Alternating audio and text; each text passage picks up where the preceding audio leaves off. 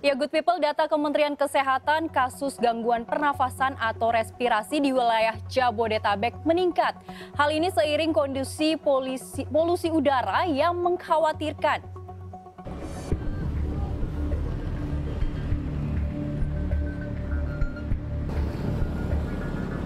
Polusi udara lagi-lagi menjadi perbincangan yang tak kunjung habis. Dampaknya pun terasa dari mulai lingkungan ataupun kesehatan masyarakat. Dan harusnya adalah penyakit respirasi, di mana sekarang sudah lebih dari 200 orang yang menderita penyakit respirasi setiap bulannya. Kementerian Kesehatan membentuk Komite Penanggulangan Penyakit Respirasi dan Polusi Udara sebagai respon atas dampak situasi polusi yang kini tengah melanda wilayah Jabodetabek dan sekitarnya. Dampak yang cukup memprihatinkan adalah adanya penyakit respirasi atau gangguan pernapasan dengan prevalensi tinggi meningkat 200 ribu jiwa lebih per bulan.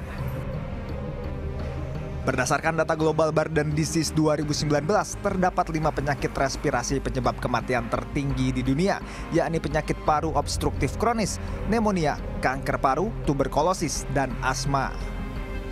Melakukan pemantauan uh, udara, ya, yang kedua melakukan surveillance. Ya surveillance terkait penyakit-penyakit dampak dari polusi udara ini. Jadi sampaikan kita sudah melakukan pendataan ISPA di rumah sakit kemudian di puskesmas ya.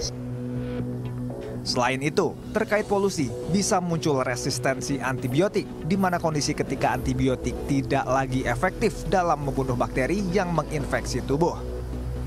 Terkait bagaimana penanganannya nanti kalau seandainya terjadi resistensi, nah antibiotik kan jumlahnya banyak tergantung resistensinya terhadap apa. Ketika resistensi terhadap obat A, B, dan C, kita bisa pakai antibiotik jenis yang lain. Tapi kan kita tidak berharap terjadi resistensi itu, yang penting itu.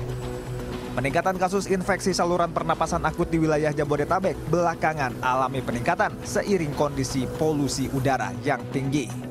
Polusi udara juga termasuk dalam 10 besar faktor resiko penyebab kematian tertinggi di Indonesia.